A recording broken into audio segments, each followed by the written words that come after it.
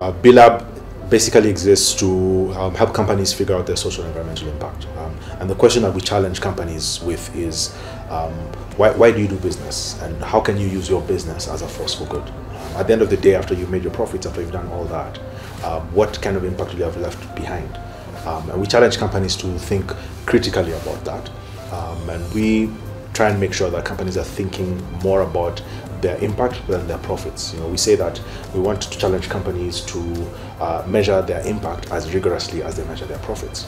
Um, and it's really a different way of doing business. Um, it's a new uh, thinking around responsibility, around sustainability, which is a different co uh, conversation, a different uh, kettle of fish, uh, which we are trying to, to foster. So BLab um, as an organization exists to support companies um, in their quest to be more responsible in their businesses. We do that through providing uh, what we call a B Corp certification. Um, and the companies then go through a fairly rigorous process that then culminates in uh, a certification, which is globally recognized and which really verifies that the company is socially and environmentally responsible. Um, currently, there are uh, somewhere in the region of 2,600 companies worldwide uh, that have achieved certification which is which is really a really a milestone.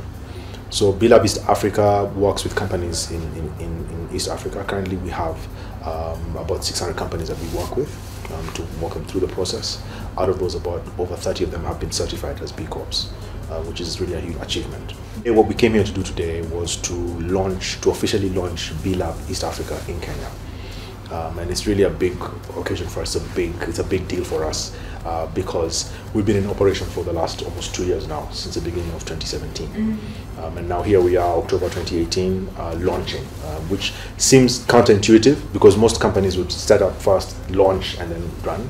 Uh, we do it differently because we believe the companies are then the ambassadors or they are the evangelists, for lack of a better word, of this uh, movement mm-hmm. and of this thinking.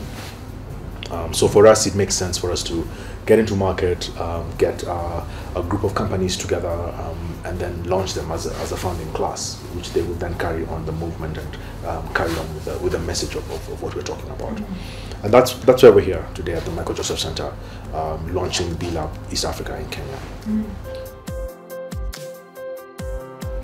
So my name is Amos Mutiga. Uh, I'm Kenya Country Director for BLab East Africa. And I'm encouraging you today to join the movement, to become part of this B economy and be the change that we want to see in the world around us today. Join the movement, be the change.